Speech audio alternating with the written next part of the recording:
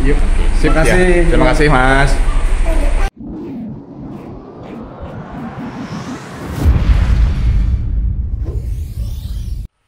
Oke, halo semua. Kembali lagi bersama Jatim Toys. Kali ini kita akan sharing tentang unboxing drone baru. Drone apakah ini? Oke, mari kita buka bersama-sama ya. Jadi drone ini baru datang tadi malam, belum kita buka ya. Oke, kita buka bersama-sama. Drone apakah ini? Kita lihat bersama-sama. Drone baru. Oke. Kita buka.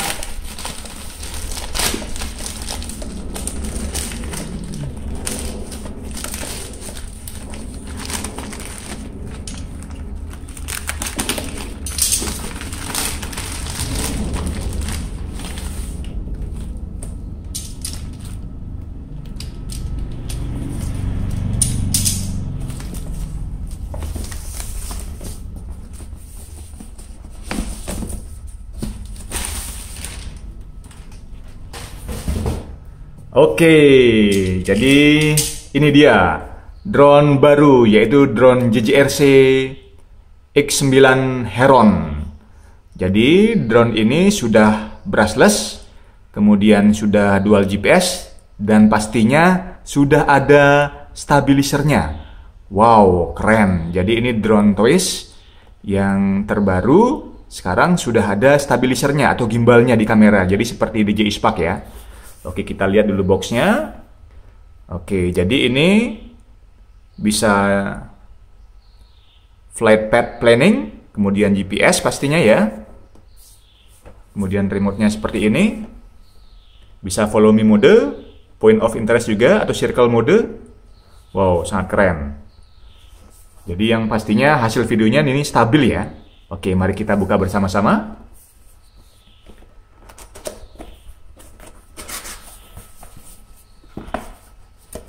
Apa saja isinya di dalamnya? Kita lihat bersama-sama. Oke, kita buka. Wow, luar biasa. Keren, keren, keren, keren, keren. Oke, jadi ini ada buku panduannya, ya. Ada buku panduannya. Kemudian selanjutnya, ini drone-nya. Oh, ini drone-nya mirip seperti Spark ya. Kemudian untuk bodinya sendiri lumayan kokoh. Ya, nah ini percis seperti Spark. Wah, keren sekali. Percis seperti Spark. Mirip sekali seperti Spark ini, DJI Spark. Kemudian ini juga sudah ada gimbalnya ya, keren. Loh, ini ada apa ini? Wah, ada sensornya ternyata ya di bawah kan ya. Oke, wah, mantap. Kemudian untuk baterainya sendiri ini dia 11,4 volt ya, 1000 mAh. Jadi untuk drone-drone sebelumnya seperti MJX B5W, MJX B2W dan lain sebagainya itu rata-rata masih 7,4 volt dan sekarang ini 11,4 volt. Wow, keren. Mantap. Jadi ini sudah ada stabilisernya kan ya? Oke. Mantap. Ini juga motor baling-balingnya juga seperti DJI Spark. Coba kita lepas. Oh, ternyata ngelepasnya tidak seperti DJI Spark ya. Ngelepasnya ini harus sepertinya pakai kunci. Kunci seperti kunci L ya. Oke. Kita taruh dulu, kita letakkan dulu. Kemudian ada apa saja? Yang pertama remote control. Wah, remote controlnya ini lumayan ya. Jadi ah, lumayan lah. Remote controlnya Nah, ini baru lagi nih, apa ini? Oh, ternyata remote control ini sudah tidak pakai baterai lagi ya. Maksudnya tidak pakai baterai alkalin seperti ini lagi, baterai AA.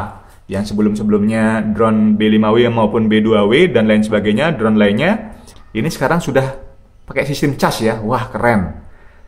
Kemudian kita lihat baterainya ini 3,7 volt, 2600 mAh. Dan ini dia sudah 5 GHz. Jadi WiFi ini atau ini sudah mengeluarkan WiFi 5 GHz ya. Jadi HP Agan harus mendukung WiFi 5 GHz. Oke, mantap, keren.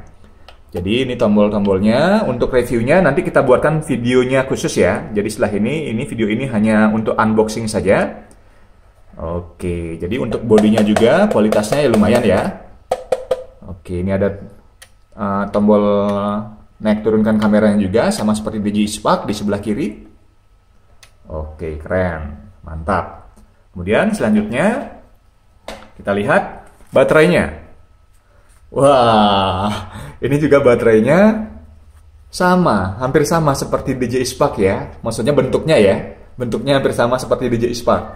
Keren, kita pencet sekali. Oke, jadi uh, kita pencet sama seperti DJI Spark. Jadi kita pencet sekali itu untuk melihat kondisi baterainya full ataukah habis ya. Wah, keren sekali ini. Kemudian baterainya sendiri kita lihat ya. Jadi 11,4 volt 1000 1000 mAh. Oke, keren, mantap. Jadi cara pasangnya kita coba apakah seperti DJI Spark juga?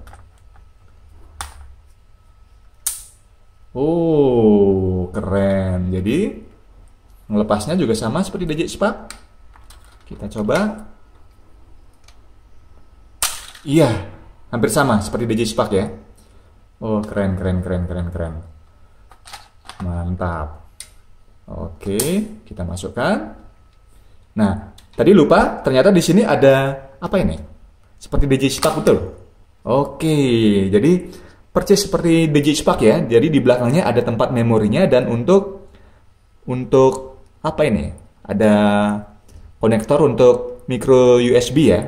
Entah untuk ngecas ataukah untuk mendownload hasil videonya. Kita kurang tahu ya. Nanti kita buatkan videonya khusus untuk review ya. Ini video ini hanya unboxing saja, jadi keren. Bentuk seperti DJ Spark. Mantap, dan sudah ada stabilisernya ya. Oke, keren. Oke, selanjutnya, apalagi di dalam boxnya. Kemudian ini chargernya ya.